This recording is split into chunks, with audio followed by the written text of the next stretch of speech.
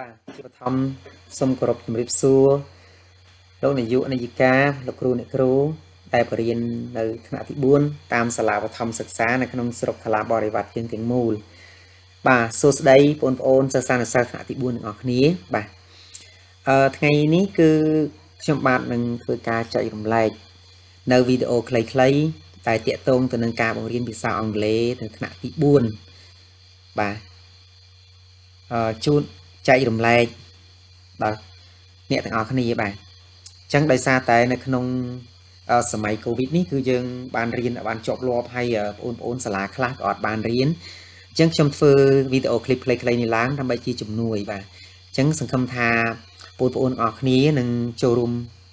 ដូចជាបងប្អូនទាំងអស់គ្នាដូចជាលោកគ្រូអ្នកគ្រូបាទនឹងធ្វើការចែករំលែកនេះដល់វីដេអូវីដេអូនេះដល់បងប្អូនសិស្សានុសិស្សឲ្យបានរៀន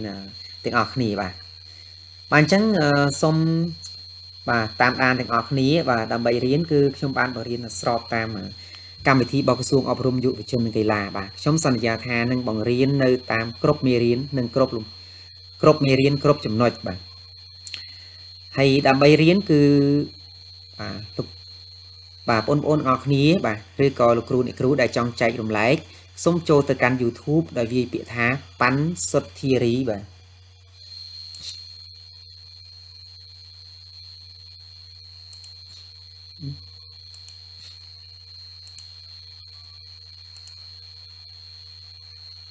បាទដល់វាពាក្យថា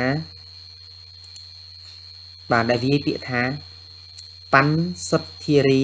share knowledge បាទអញ្ចឹងបងប្អូនចូលទៅកាន់ YouTube ហើយបងប្អូនវាពាក្យថាប៉ាន់សុតធារី share knowledge បាទអញ្ចឹងបងប្អូននឹងឃើញបាទបងប្អូនពិសេសបងប្អូនសិស្សានុសិស្សណាបាទបងប្អូននឹងឃើញពាក្យថាពាក្យហ្នឹងនៅគឺនៅក្នុង YouTube ហើយវាយឲ្យពេញអក្សរណាប៉ាន់សុតធារី share knowledge ហ្នឹងវាយឲ្យពេញអក្សររួចហើយ បងនឹងឃើញលោកគ្រូដាក់រូបសិភៅអឺខ្ញុំដាក់រូបសិភៅអង់គ្លេសថាទី5បាទអឺនៅសម្រាប់កម្មវិធីនៅក្នុងបឋមសិក្សា គឺខ្ញុំនឹងបង្រៀនគ្រប់ទាំងទាំងនោះគឺមានទាំងបាទ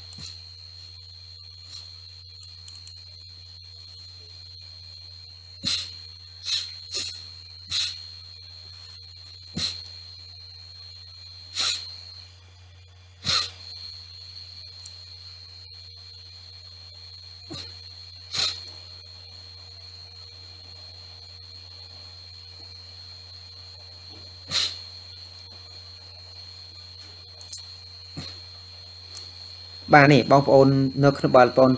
បងប្អូនអស់គ្នាប្រើកុំព្យូទ័របាទឬក៏លោកគ្រូអ្នកគ្រូដែលចង់ចែករំលែកគឺយើងចូលជ្រម Google ជ្រមហើយបងប្អូនចូលមកពាក្យថា YouTube បាទបន្ទាប់មកអឺបាទនៅក្នុងប្រអប់ search បាទនេះប្រអប់ search បាទប្រអប់ search ហ្នឹងបាទបងប្អូនវាយពាក្យថាបាយជាអក្សរធំណាបាទ ប៉ាន់សុតធារីសុតធារីបាទ share knowledge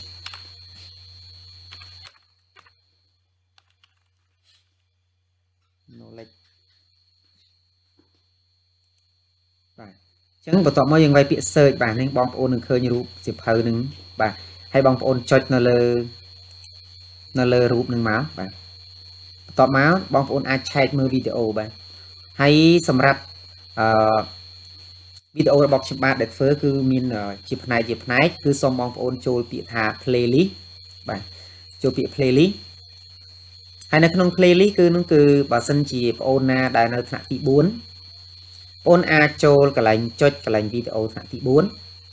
អូនណានៅថ្នាក់ទី5បាទចុច ថ្នាក់ទី5បងអូនណាថ្នាក់ទី6បាទចុចថ្នាក់ទី6ហើយចំណែកបងអូនណាដែលមានឆ្ងល់មានចម្ងល់ពាក្យតងនឹងការប្រើប្រាស់ប្រព័ន្ធ smart បាទការប្រើប្រាស់អឺ